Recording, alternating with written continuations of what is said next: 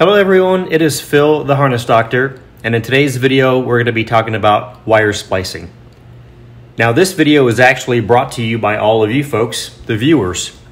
I get asked pretty frequently on how I do my wire splices, and today I wanted to show you the different ways that you can perform wire splices and show you how I do the wire splices on all of the products that are sold and shipped from harnessdoctor.com. Some of the tools we're going to be using in this video will be a heat gun, a side cutter, a pick tool, small flathead screwdriver, electrician scissors, a wire cutter and wire stripper that has the ability to cut and strip in the wire gauges that you're going to be working with, a sharp razor knife, soldering iron, some solder, different types of electrical tape, and some heat shrink tubing. Here I've got some wire that we're going to be splicing into this wire harness here, and I've actually taken this out to, to show you better clarity on that. And then up here I've got different types of splice taps that are widely available on Amazon. I personally do not like using those, so I'm going to show you what I do here with regards to wire splicing. Now I will leave links for everything you see here down in the description below, so go ahead and check those out at your convenience. With that said, let's get started. So let's talk about this first splice. This is called a butt splice, and the intended use for this is you are actually taking the wire that you want to splice into and you're actually cutting this wire. So the intended purpose of this butt splice is you're going to cut this wire and then you're going to strip some of the insulation off on both ends of this wire.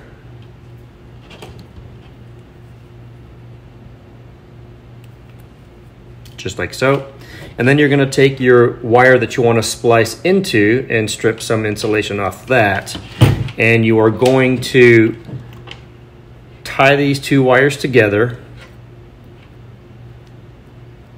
like so. We'll trim off some of the excess. And then you're going to insert this into your butt splice on one end. And then you'll take the other end of this and insert it into the, into the other end just like that. And then you'll take a crimp tool and you'll crimp these two together. Here's a crimp tool that I forgot to add in the original list by Klein, and this has the insulated and non-insulated crimping options. So we're gonna go ahead and crimp this using the insulated option on one side. Just like that and then we will crimp it here on the other side. Just like that. So that is a butt splice. You can then take some electrical tape and wrap this up to clean it up, put that back into your wire harness and rewrap the entire thing. So that's a butt splice. The next type of splice is a, I think these are called vampire clips. And on this, you'll see there are two holes here. One has a channel that goes all the way through and the inner channel has a cap. So the intention behind this, cut some of this wire here. So we're gonna go ahead and splice this green on this harness. The intention on this is you wanna open this up a little bit and you're gonna insert this on the channel that runs completely through the connector. Just like that. Then you'll take your wire and you're gonna insert it on the open end all the way in until it stops. And again, this is capped off on this side. And then once you have both wires inserted into the connector, you can then take some pliers and clamp down on the metal clamp. And then you simply close the clamp just like that. So this is a a T-splice using one of these vampire style clips. Now, one of the reasons why I don't like this is because sometimes this metal clamp doesn't actually clamp all the way down, making contact with the wire. And if you actually open this up, you can see what's happening there with this clamp. So the teeth on this metal clamp are piercing the outer jacket of this wire, making them make contact to each other.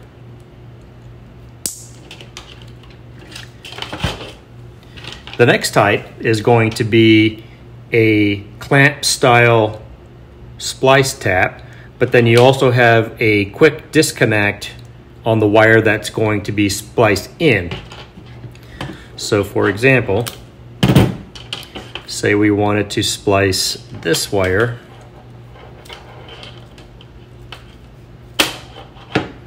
You would take your quick disconnect and attach it to your wire just like that. So we would strip off some of the insulation and then insert it into the quick disconnect. And then we would crimp that down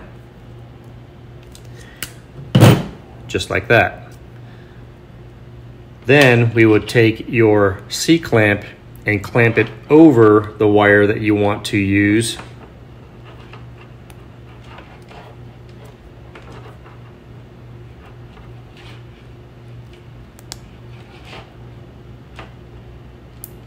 Just like so. And when you clamp this down, this is also doing the same thing as the other clamp where the metal clamp is piercing the wire, making contact, and then you simply take your quick disconnect with the male on it and insert it in. Sometimes these spades can move on you, so you kind of have to fix it so it's centered.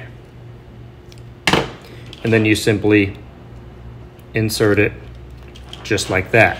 So that gives you the ability to disconnect whenever you need to, if you ever need to. Now that you've seen the three different splice tap methods here, I'm going to show you how I do it. Uh, one thing I forgot to mention is that if you decide to use one of these splice tap methods, it doesn't make it very pleasing to the eye if you have to wrap this with electrical tape because of the bulkiness that these connectors provide, in addition to not having a great connection on these splice taps. So the method I'm going to be showing you here is the same exact method that I use for all of my harness builds. And this method is called a lineman's splice. This is a method that I found to be the most effective in making a very positive contact. And then once we make the splice, we're gonna solder it here with our soldering iron. So the way that I do this is I ensure that I have enough working space on the wire. You don't wanna be doing this too close to the connector itself. You wanna have room. So I tend to come down a few inches away from the connector. And so using my wire cutter and wire stripper, I know that this wire is a 20 gauge wire. So what I'm gonna do is I'm gonna locate the 20 gauge slot on my wire stripper and I'm going to make a cut on the wire but this is not going to cut the wire all the way through. It's essentially making a score on the wire. And my score will be about a quarter, maybe half an inch, just like that. So then I'll take my razor knife and I will carefully remove the outer insulation.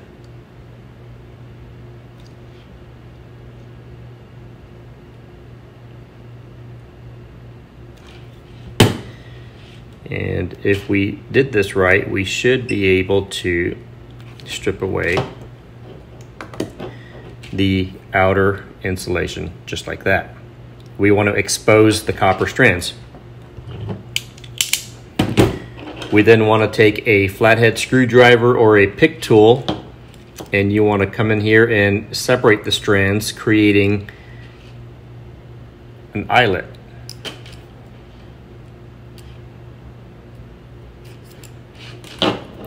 Just like that. We'll then strip some of the insulation off the wire you're wanting to splice in. And what I like to do is insert it like you're threading a needle just like that. And then we're gonna wrap this wire at least three times, just like so.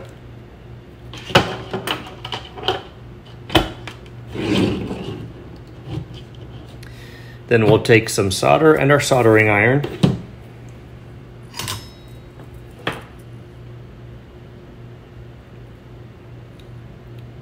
and we'll solder this here.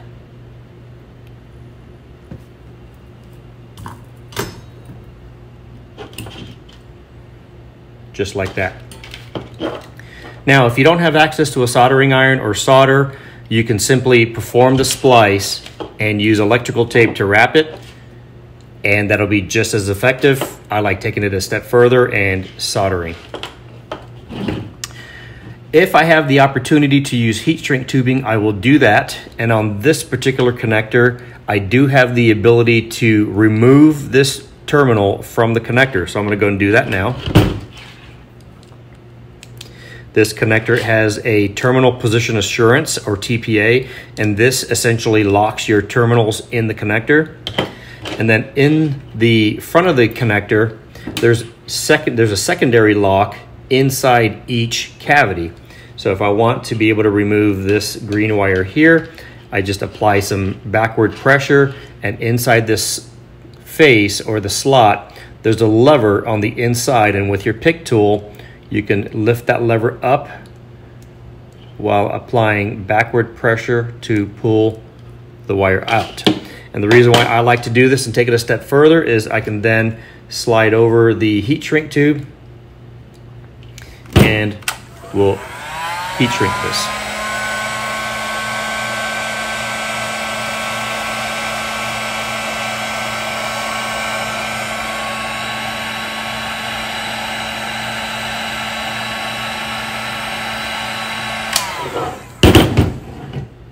just like so. Now the heat shrink tubing that I use is a watertight or water resistant heat shrink tubing. When you actually apply heat to it, it releases a liquid on the inside that creates a nice seal. So that's the way that I do it.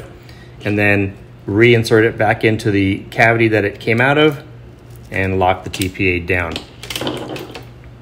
And again, if you don't have access to a soldering iron, solder, or even a heat gun, you can perform the same steps that I did here. You can use a lighter to heat this. Just be careful you don't burn the wire. You just want to have constantly moving heat and that'll achieve the same result.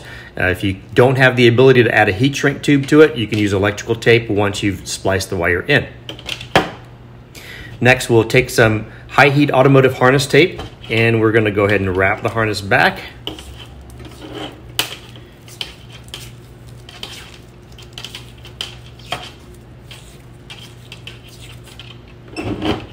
and then we cut the excess.